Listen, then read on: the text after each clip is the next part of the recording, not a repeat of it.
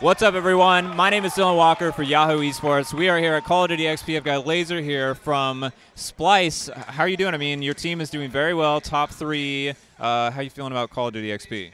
This has been a fantastic experience. I I was just saying earlier to somebody that what's really cool about this is we've gotten to the point where if we're going to be here for 10 or 12 hours, you're not expected to sit in your seat and just watch esports for 12 hours. There's so much more to do. Trying out the new game. There's booths outside. They have a zip line. They have paintball, and I think that's really cool. It reminds me of like the festival uh, music circuit, where when you go, you go to see great music, but you also go to have like an experience enjoying with your friends and having a good time outside of just sitting and watching.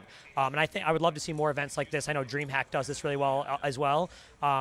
Like I said, I just I think they executed really well on this, and I hope we do more of this across the industry. Awesome. So I want to talk to you since I've got an owner with me. I don't usually get to talk to owners that much. Um, I mean, I want to. You guys used to be. You weren't always Splyce. You were uh, FE before this, right? And I mean, like, where? Why the rebrand? Number one. So we were originally a, a website, right? And the, the goal was to be we're gonna have all these listings for esports, and that was our focus. Picking up a team was actually a marketing effort. Um, if you recognize the whole Kinguin picked up a Counter Strike team, renamed it, we thought, hey, it worked for Kinguin, maybe it'll work for us, and we did pick up a Counter Strike team. Um, what happened though is I was like, well, maybe we'll pick up a few more teams, and then we pick up some Smash players, and then we have a Warcraft team, etc.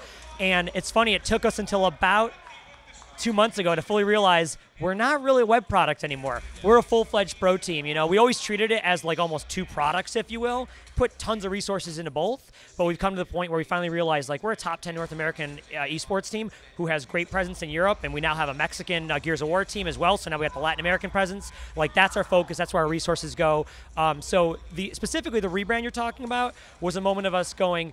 If I'm a fan of a team I might not be so proud to say I'm a follow esports fan. It's not really an exciting thing. So when we rebranded, it was really about like you want your fans and your players to feel proud to wear a jersey like this. Like when they go on stage, they've got a great looking logo, they got a great brand to feel excited to, to represent. Uh, so how many teams do you have right now currently across all games, all regions? So we're on seven teams now. Uh, we have a top the top uh, two uh, European LCS team as well as the number one Call of Duty team in Europe, which is why we're here. Uh, we have the, the, number one undisputed uh, Gears of War team in Latin America. Uh, they're 10 and 0 undefeated in the last 10 games. Um, headed to the first big event in that circuit. in the North America, our Overwatch team is in the top five. They made E League, so we're really excited about that. we have one Hearthstone player, the Rat, who's regularly one of the major deck builders out there. He makes a, a lot of us changes to how the scene works in the metagame. then we have MacD and Nintendude, who are both top, top 25 Smash players. Um, and then, of course, our Counter Strike team, the first truly international uh, team. Uh, we have five players, all from different regions, and it's kind of exciting because it's that's what esports is, right? It's a truly global phenomenon, and and you know we've seen little bits of people pulling from other regions. We now truly have taken some of the best from all different regions in the world. Did you guys ever have like a big break kind of deal? Like, was there anything that ever kind of propelled you even further into like the esports space in terms? Is it like I think the, the whole idea here is that a lot of people want to be involved. Like a lot of people want to be grow their own orgs and start their own programs and stuff. Um, and I just could you tell them in your own words like is it about results? Is it about fan outreach? Like what really helps you get these things rolling?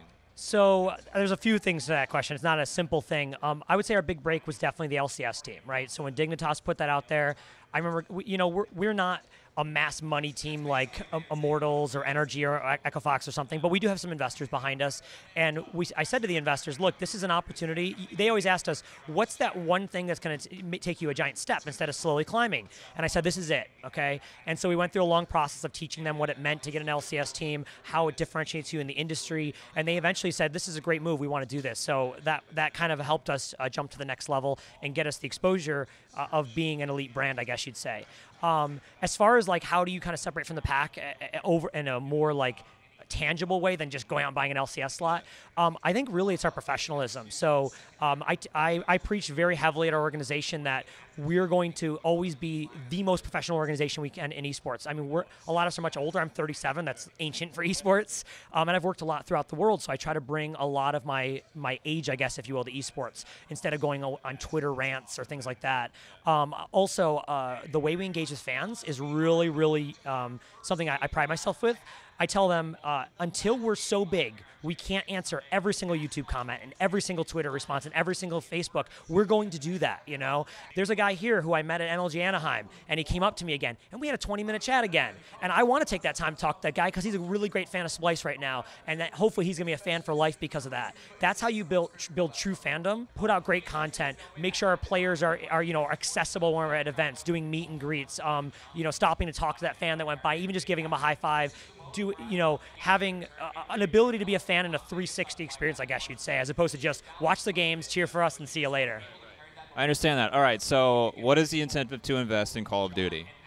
Uh, massive growth space. So if you look at any other game uh, that's on a uh, PC basis, like let's take League of Legends or Counter Strike, almost all people who play those games know esports exists. Whether they watch it or not is another question, but they know it exists. Call of Duty, what is it, 5, 10% of players know it exists because it's in a very segmented space. It's a massive player base, like one of the biggest player bases there is. Yeah, so let's say we even double that to 15 to 20% of the audience. We're all of a sudden going to be one of the biggest esports around. And so it's not out of the realm of possibilities for us to be selling out stadiums in a year, you know, whereas that's a little bit farther fetched for games like Counter-Strike and, and uh, League of Legends on a regular basis. Sure, they do it for Worlds, and sure they do it for like the major, but it's a couple times a year. Call of Duty has that potential that if we can reach a large audience, which we're doing with things like in-game items now, which is a great opportunity. You turn on your console, go, oh, that, that skin is really cool. What is that? Esports. I'm going to check that out. And all of a sudden, we fill up, you know, a 30, 40,000 seat stadium because the player base is in the tens of millions, right? Uh, so last question: Are you going to stick around for Snoop Dogg and Wiz Khalifa? I actually made a tweet after it was announced that I was so thankful that they had an old man rapper for an old man like me because I'm a Snoop Dogg fan from back in the days of when uh, the first album came out. You know, I, I, have that that CD. Now that those are really relevant anymore from back in uh, 1994. Yes, I was in high school then. That, again, that's how old I am for esports. So I am as amped as I can be. Last time I saw Snoop Dogg was at the Apollo in Harlem. So yeah, I'm, like I said, I'm old school, right? Right on. All right. Well, thanks for taking the time to talk to me. For sure. For everybody else, this is Yahoo Esports.